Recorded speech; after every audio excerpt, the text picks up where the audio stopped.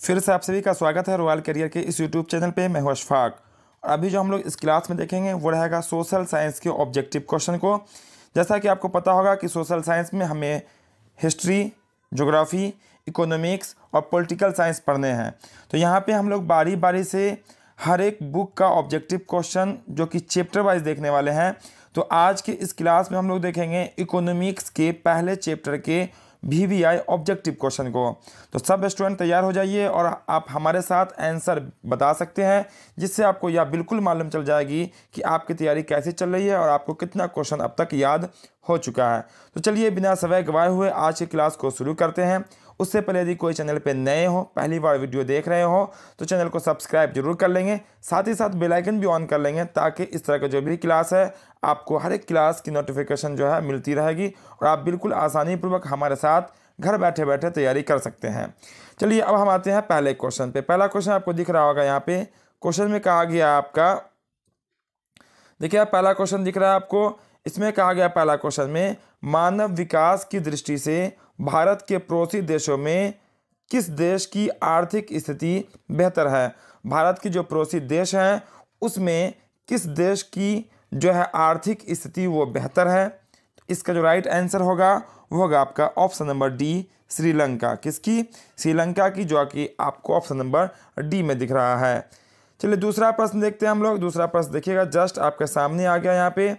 दूसरा प्रश्न में कहा गया है, देखिए दूसरा प्रश्न क्लियर है, निम्नलिखित में से किस राज्य को पिछड़ा राज्य कहा जाता है? चार ऑप्शन दिए गए हैं, इस चारों ऑप्शन में से किस राज्य को पिछड़ा राज्य कहा जाता है? फटाफट आप लोग भी कमेंट बॉक्स में आंसर बताएँगे तो इसका जो राइट आंसर होगा, वो भी होगा आपका ऑप्शन नंबर डी, बिहार को, ठीक है? चलिए बिहार इसका राइट आंसर। तीसरा प्रश्न देखिएगा, आपके सामने होगा। तीसरा प्रश्न भी आ गया आपके सामने। तीसरा नंबर प्रश्न में कहा गया, अर्थ, अर्थव्यवस्थाओं के मुख्य प्रकार हैं। यानी अर्थव्यवस्था कितने प्रकार के होते हैं? यहाँ भी चार विकल्प दिए गए हैं। दो है, तीन है, चार है और अनेक है। तो इसका जो सही आंसर होगा, वो होगा आपका तीन प्रकार का। यानी कि ऑप्शन नंबर बी जो है, इसका राइट आंसर होगा। आपको पता ही होगा, कृषि क्षेत्र होता है, सेवा क्षेत्र होता है और आपका औद्योगिक क्षेत्र होता है। चलिए चौथा नंबर प्रश्न देखेंगे। चौथा नंबर प्रश्न देखिएगा, आपके सामने होगा चौथा नंबर प्रश्न में। चौथा नंबर प्रश्न में कहा गया आपका, निम्नलिखित में से किस, कौन से देश में समाजवादी अर्थव्यवस्था है? किस देश में समाजवादी अर्थव्यवस्था पाई जाती है? आप यही पढ़े होंगे, पूंजीवादी अर्थव्यवस्था, समाजवादी अर्थव्यवस्था और मिश्रित अर्थव्यवस्था। तो समाजवादी अर्थव्यवस्था चारों ऑप्शन में से किसमें है? पहला विकल्प है जापान, दूसरा आपका रूस, तीसरा आपका भारत और चौथा आपका अमेरिका। तो इसका जो राइट आंसर होगा, वो होगा आपका रूस में। किसमें रूस में। आपको बता दें, भारत में जो है, वो आपकी मिश्रित अर्थव्यवस्था पाई जाती है, जबकि जापान और अमेरिका में जो है, वो आपका पूंजीवादी अर्थव्यवस्था पाई जाती है। चलिए, पांचवा नंबर क्वेश्चन आपके सामने होगा। यहाँ पे हम लोग बीस क्वेश्चन को देखेंगे, जो कि पहले चैप्टर से होगा, जो कि काफ़ी इंपॉर्टेंट क्वेश्चन है। चलिए पांचवा नंबर प्रश्न बोला गया। सामयिक विकास की प्रक्रिया संबंधित है। सामयिक विकास का अर्थ होता है सभी का विकास। तो सभी का विकास की प्रक्रिया से संबंधित क्या होगा? उच्च वर्ग से, निम्न वर्ग से, सभी वर्ग से, इनमें से कोई नहीं। तो इसका जो राइट आंसर होगा वो क्या होगा आपका? सभी वर्ग से। सभी का विकास होगा मतलब सामयिक विकास होगा, सबों का विकास होगा। चलिए छठा नंबर प्रश्न देखते हैं। छठा नंबर क्वेश्चन में कहा गया, देखिएगा ध्यान से जल्दी जल्दी आप लोग भी आंसर बता सकते हैं। छठा नंबर क्वेश्चन में कहा गया, भारत में नीति आयोग की स्थापना कब हुई? भारत में नीति आयोग की स्थापना कब हुई? चार विकल्प यहाँ दिए गए हैं। पहला आपका 1950 दूसरा आपका उन्नीस तीसरा है 2005 और चौथा विकल्प में कहा गया 2015 तो इसका आंसर होगा ऑप्शन नंबर डी 2015 ध्यान दीजिएगा, यही क्वेश्चन है। अगर ऐसे पूछा जाएगा, भारत में योजना आयोग का गठन कब हुआ, तब इसका आंसर होगा 1950 और इसी योजना आयोग का नया नाम जो है, नीति आयोग किया गया है 2015 में। ठीक है? तो नीति आयोग कब से स्टार्ट हुआ? 2015 से। चलिए, सातवां नंबर क्वेश्चन देखिएगा। सातवां नंबर क्वेश्चन आपके सामने है। सातवां नंबर क्वेश्चन में कहा गया, इनमें से कौन आर्थिक क्रिया नहीं है? कौन सी क्रिया आर्थिक नहीं कहलाएगी? चार विकल्प यहाँ भी मौजूद हैं। पहला आपका कृषि, दूसरा आपका बेरोजगारी, तीसरा आपका बीमा, चौथा आपका परिवहन। तो आर्थिक क्रिया कौन नहीं कहलाएगी? यह आप हमें कमेंट बॉक्स में जल्दी से बताएँगे इसका आंसर ये क्वेश्चन हम आप सबके लिए छोड़ देते हैं। ये आप हमें कमेंट बॉक्स में बता देंगे। फिर इसका हम सही आंसर आपको अगले क्लास में ज़रूर बताएँगे कि इनमें से कौन आर्थिक क्रिया नहीं है। चलिए अगला प्रश्न देख लेते हैं हम लोग, जो कि रहेगा प्रश्न नंबर कितना रहेगा? वो रहेगा आपका आठवां नंबर। आठवां नंबर प्रश्न देखिएगा। इसमें कहा गया किस क्षेत्र को तृतीय क्षेत्र कहा जाता है? ध्यान दीजिएगा, किस क्षेत्र को तृतीय क्षेत्र कहा जाता है? तृतीय क्षेत्र, पहला ऑप्शन आपका है सेवा क्षेत्र, दूसरा ऑप्शन आपका है कृषि क्षेत्र, तीसरा विकल्प है आपका औद्योगिक क्षेत्र, चौथा कहा गया इनमें से कोई नहीं। तो ध्यान दीजिएगा, तृतीय क्षेत्र को सेवा क्षेत्र कहा जाता है, जो कि आपका ऑप्शन नंबर ए में दिख रहा है। और प्राथमिक क्षेत्र को कृषि क्षेत्र कहा जाता है और द्वितीय क्षेत्र को औद्योगिक क्षेत्र कहा जाता है। तो ये सब आप याद रखिएगा। चलिए नौवा नंबर क्वेश्चन, नौवा नंबर देखिएगा, आपके सामने आ गया होगा, नौवा नंबर प्रश्न में कहा गया, भारत की आर्थिक व्यवस्था क्या है? अभी जस्ट हम आपको बता के आगे बढ़े हैं, भारत में कैसी अर्थव्यवस्था पाई जाती है? चार विकल्प यहाँ भी मौजूद है, ए में है आपका समाजवादी, बी ऑप्शन नंबर बी में है पूंजीवादी, ऑप्शन नंबर सी में है मिश्रित, और ऑप्शन नंबर डी में है इनमें से कोई नहीं। तो भारत में जो है वो आपका मिश्रित अर्थव्यवस्था पाई जाती है। मिश्रित अर्थव्यवस्था वैसी अर्थव्यवस्था को कहते हैं जहाँ कोई भी साधन जो हो, वो गवर्नमेंट का भी हो और आपका प्राइवेट भी हो। दोनों मिलकर जहाँ काम करती है, उसको मिश्रित अर्थव्यवस्था कहते हैं। चलिए दसवां नंबर प्रश्न देख लेते हैं हम लोग। दसवां नंबर देखिएगा, यहाँ आपके सामने होगा।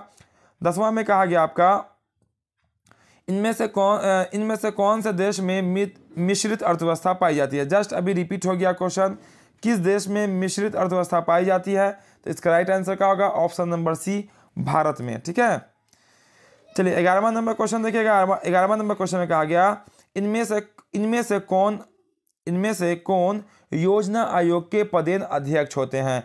यानी योजना आयोग का अध्यक्ष कौन होता है? ये हमें बतानी है। चार विकल्प दिए गए हैं। पहला ऑप्शन में आपको दिख रहा होगा प्रधानमंत्री, दूसरा ऑप्शन में आपका है योजना मंत्री, तीसरा आपका राष्ट्रपति, चौथा आपका इनमें से कोई नहीं। तो ध्यान रखिएगा, योजना आयोग या रहे नीति आयोग, दोनों का जो अध्यक्ष होते हैं, वो होते हैं प्रधानमंत्री। और ध्यान दीजिएगा, योजना आयोग का ही नया नाम है नीति आयोग।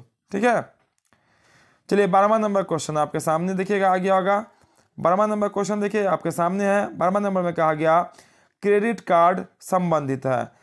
क्रेडिट कार्ड किससे संबंधित था? पहला बोला गया आपका एटीएम प्रणाली से, दूसरा आपका कोर बैंकिंग प्रणाली से, तीसरा आपका बैंकिंग प्रणाली से, और चौथा विकल्प में कहा गया इनमें से कोई नहीं। तो ध्यान दीजिएगा, आपका डेबिट कार्ड जो है, क्या आपका? डेबिट कार्ड जो संबंधित है, वो आपका है एटीएम प्रणाली से। किसे? डेबिट कार्ड, यानी कि एटीएम कार्ड को ही डेबिट कार्ड कहते हैं। तो ये जो होता है, वो आपका एटीएम कार्ड प्रणाली से संबंधित होता है। चलिए, तेरहवा नंबर क्वेश्चन देखते हैं। तेरहवा नंबर क्वेश्चन में कहा गया आपका, निम्नलिखित में कौन नवीकरणीय प्राकृतिक संसाधन है? कौन नवीकरणीय प्राकृतिक संसाधन है? चार विकल्प यहाँ भी दिए गए हैं। पहला विकल्प है आपका पेट्रोलियम, सॉरी, कोयला है। दूसरा आपका पेट्रोलियम, तीसरा आपका है गैस, चौथा आपका भूमिगत जल। तो ध्यान दीजिएगा, नवीकरणीय संसाधन वैसा संसाधन का कहते हैं जो कभी समाप्त नहीं हो सके, यानी जिसका हम पुनः उपयोग कर सके।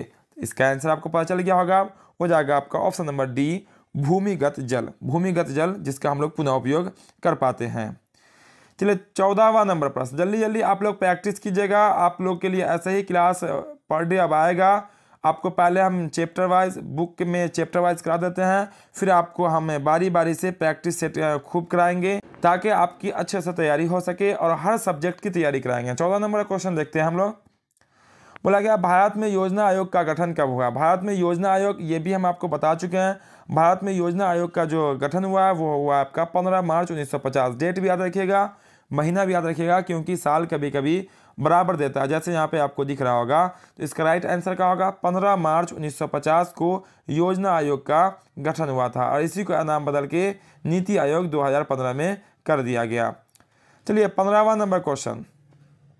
पंद्रह में कहा गया, बिहार में जी, जीवन यापन का मुख्य साधन क्या है? कृषि है उद्योग है व्यापार है उपरोक्त सभी है। तो ध्यान रखिएगा बिहार में जीवन यापन का मुख्य साधन जो है वो मात्र केवल और केवल क्या आपका? कृषि है जो कि आपका ऑप्शन नंबर ए में है। चलिए यहाँ पे सोलहवा नंबर क्वेश्चन देखते हैं। सोलहवा नंबर में कहा गया देश में भारत में सब्ज़ी के उत्पादन में बिहार का कौन सा स्थान है? सब्ज़ी के उत्पादन में कौन सा स्थान है? चार विकल्प यहाँ पे दिए गए हैं। पहला है, दूसरा है, तीसरा है और चौथा है। तो सब्ज़ी के उत्पादन में बिहार का देश में आपका दूसरा स्थान है। और ध्यान रखिएगा, अगर बात कर ले फल की तो फल के उत्पादन में बिहार का देश में सातवां स्थान है। चलिए, अगला प्रश्न, सत्रहवा नंबर। सत्रहवा नंबर क्वेश्चन में कहा गया आपका, भारत के पड़ोसी देश में किस देश की प्रति व्यक्ति आय सबसे अधिक है? देखिए, सबसे अधिक जो है आपको पहले भी हम इस टाइप का क्वेश्चन आ चुका है, लेकिन वहाँ पे थोड़ा सा टाइप क्वेश्चन का चेंज था। आंसर सिमिलर होगा, एक ही जैसा होगा।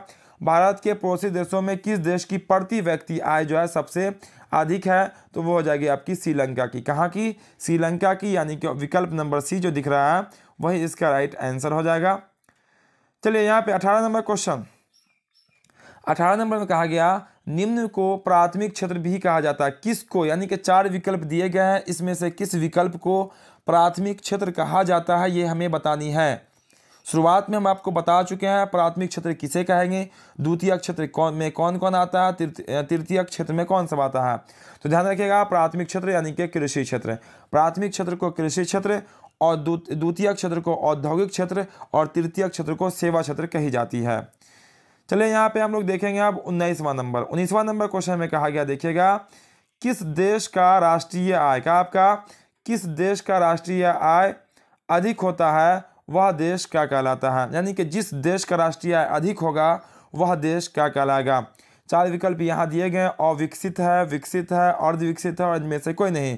तो जिस व्यक्ति जिस दे, देश की राष्ट्रीय आय अधिक होती है वह देश आपका विकसित कहलाता है। क्या कहलाता है? विकसित, जैसे अमेरिका। अब बात कर लें विकासशील की तो हो जाएगा आपका भारत, वो जो कि विकास कर रहा है। चलिए, बीसवा नंबर प्रश्न देखिएगा। बीसवा नंबर क्वेश्चन कहा गया, गरीबी कैंसर रोग की तरह। गरीबी किस रोग की तरह? कैंसर रोग की तरह है। किसने कहा? किस अर्थशास्त्री ने कहा था, गरीबी कैंसर रोग की तरह है? बताइए जल्दी से इसका आंसर।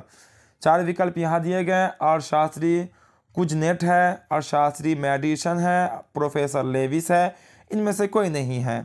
इसका राइट आंसर होगा ऑप्शन नंबर ए अर्थशास्त्री कुजनेड कुजनेड ने कहा था, गरीबी जो होती है, वो एक कैंसर रोग के समान होती है। चलिए आज के क्लास का अंतिम क्वेश्चन अंतिम क्वेश्चन देखिएगा आज के क्लास का। इसमें कहा गया, किस देश को किस क्षेत्र को द्वितीय क्षेत्र कहा जाता है? किस क्षेत्र को अर्थव्यवस्था के किस क्षेत्र को द्वितीय क्षेत्र कहा जाता है? जल्दी से बता दीजिए इसका आंसर, चूँकि हम आपको जस्ट अभी बताए हैं। इसका आंसर हो जाएगा आपका औद्योगिक क्षेत्र। क्या हो जाएगा आपका औद्योगिक क्षेत्र, जिसमें आपका किसी वस्तु का निर्माण करना, बिजली का उत्पादन करना, ये सब शामिल होता है औद्योगिक क्षेत्र के अंतर्गत। उम्मीद करते हैं इक्कीस क्वेश्चन आपको यहाँ पे हम बताए हैं। इसमें से आपको बहुत सारे क्वेश्चन का आंसर याद होगा। तो जो अब तक क्लास को लाइक नहीं किए होंगे क्लास को लाइक ज़रूर कर देंगे। जो चैनल पे नए आए होंगे, पहली बार क्लास कर रहे हों चैनल को सब्सक्राइब ज़रूर कर लेंगे ताकि इस तरह का जो भी प्रैक्टिस है, उसके क्लास का नोटिफिकेशन आपको मिलता रहेगा और आप बिल्कुल आसानी पूर्वक हमारे साथ तैयारी कर सकते हैं। जिनको पीडीएफ लेना हो, हमारे दिए गए व्हाट्सएप नंबर पर कमेंट करेंगे, आपको पीडीएफ उपलब्ध करा दी जाएगी। तो फिर मिलते हैं हम लोग अगले क्लास में जय हिंद।